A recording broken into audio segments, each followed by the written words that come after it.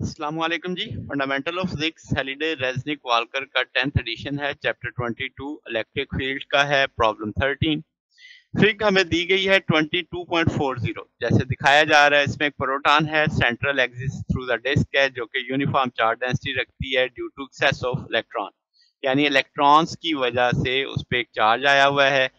Disc को वो कहता है, अगर हम एज के व्यू से देखें, जैसा कि इस जगह दिखाया जा रहा है, तीन आपको इलेक्ट्रॉन दिखाए गए हैं, एक इलेक्ट्रॉन बिल्कुल डिस्क के सेंटर पे है, दो बिल्कुल एजिस पे हैं अपोजिट साइड पे।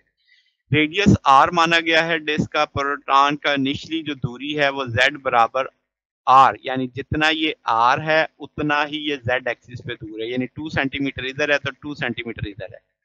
वो कहता है जी, किस लोकेशन पे मैग्नीट्यूड जो इलेक्ट्रिक फ़ील्ड का होगा?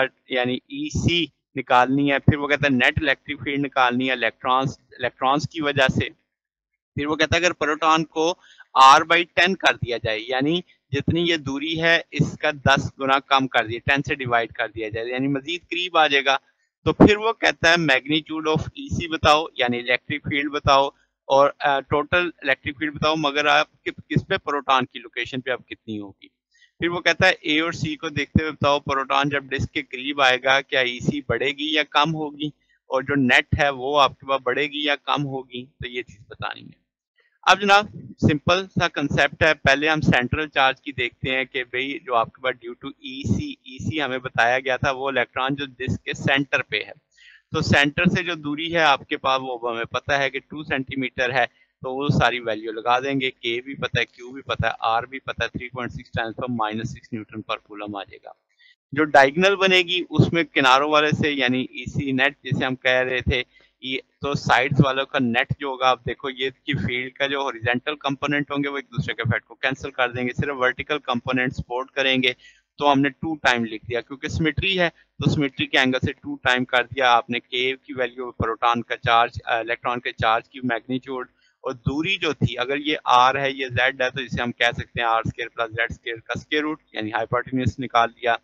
फिर साइन थीटा साइन थीटा भी यहाँ से निकाला जा सकता है Z over R square plus Z square का होल स्केयर रूट इस सारे को इकट्ठा करके लिखा जा सकता है, अब हमें जेड भी पता है आर भी पता है ई e भी पता है, सारी वैल्यूज़ का पता है two point five five ten पर माइनस सिक्स न्यूटन पर कूलम आएगा।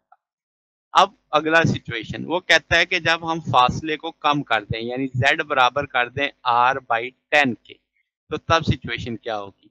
तो पहली सिचुएशन में हम क्या कर देते हैं कि भाई आपके पास ई e आ जाएगा। इसमें जो z था, वो r के बराबर था, मगर आप उसे डिवाइडेड बाई टेन कर दिया है तो इस सारे को लेके सॉल्व करेंगे तो ये थ्री पॉइंट सिक्स पर माइनस फोर आ जाएगा।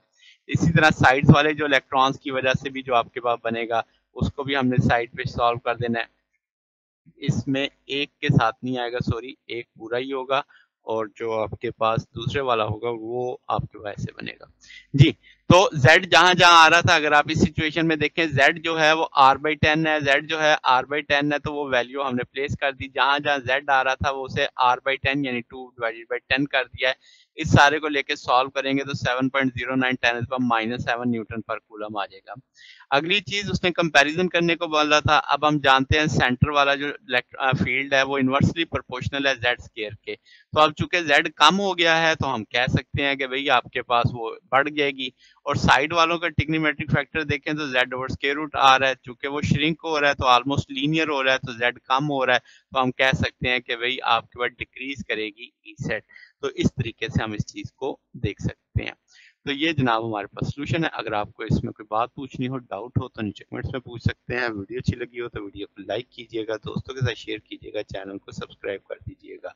अब तक के लिए इतना ही। बाकी इंशाल्लाह नेक्स्ट देखेंगे। ओके अल्लाह हाफिज़।